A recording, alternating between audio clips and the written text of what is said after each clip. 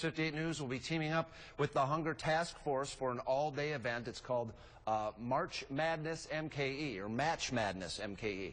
Thursday, March 10th, we're raising money to help feed those most in need in southeast Wisconsin. You can help. 5 a.m. to 11 at night. We're going to take calls for your donations. Jot down this number if you can, 414-777-5801. That is the number to call to make a donation. We hope you'll join us next Thursday. We're going to raise money for a good cause, the Hunger Task Force. And coming up on the CBS